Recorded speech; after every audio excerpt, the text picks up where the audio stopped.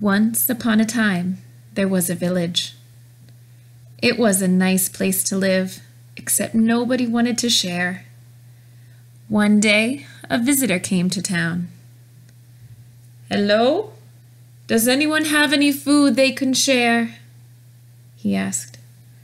The villagers all responded quickly that they had nothing to share with the visitor.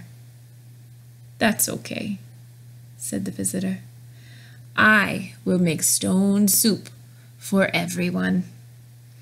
Then he took out a giant pot and dropped a large stone in, added some water, and sat it on a fire to cook.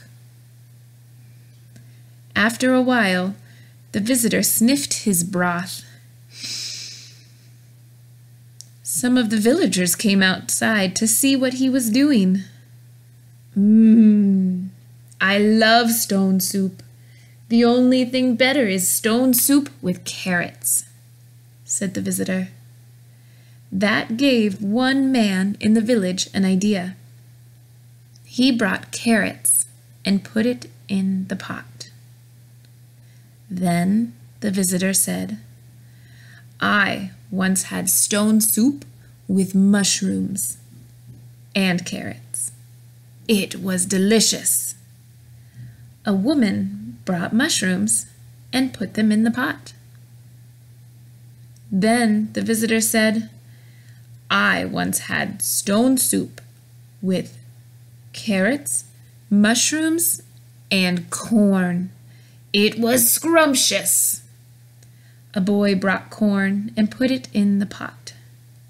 Then the visitor said, I once had stone soup with carrots, corn, mushrooms, and beans. It was so good. A girl brought beans and put them in the pot. The soup cooked and cooked. Finally, it was ready. Everyone in the village ate a big bowl. This is delicious, they all said.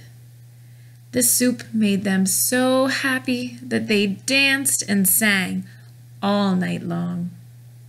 From then on, the people in the village shared, and their very favorite thing to share was stone soup.